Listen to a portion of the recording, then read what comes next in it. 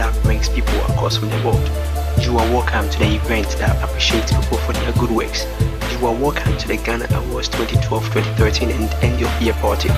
Who takes home what and who picks the newly created Sports Personality for Women and Looks International Personality of the Year categories? Come watch live your local singers and dancers in Moscow and other cities performing live at the Azozo Soldiers. Straight up from Petersburg is the man Borga, and also from the White City, Belgrade, is Henry Foxy Brown, rapper and singer Friday Idoko from Nigeria, and Ben Sijek. Many more artists built to perform on the 5th of January 2013. Red carpet begins at exactly 3 o'clock with Rockets and Nakwesi.